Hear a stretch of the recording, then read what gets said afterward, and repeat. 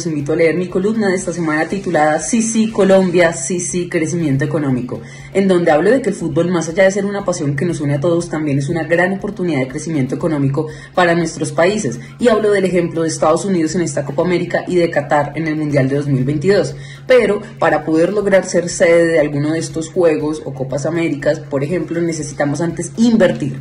Invertir en mejorar la infraestructura de nuestras ciudades. Invertir en mejorar las sedes deportivas que tengamos. Es un ejercicio que se debe multiplicar por muchas ciudades de nuestro país y que además de traernos beneficios económicos en estos juegos, nos traerá turismo, nos traerá mejores incentivos para los comerciantes y además mejor calidad de vida para las personas que vivan en estas ciudades. Necesitamos líderes y gobernantes que se preocupen y que le apuesten a la inversión y al crecimiento económico y no que lo satanicen y que desperdicien oportunidades, por ejemplo, de ser sede de los Juegos Panamericanos. Necesitamos un gobierno muy diferente y con una mentalidad muy diferente a la que se tiene actualmente.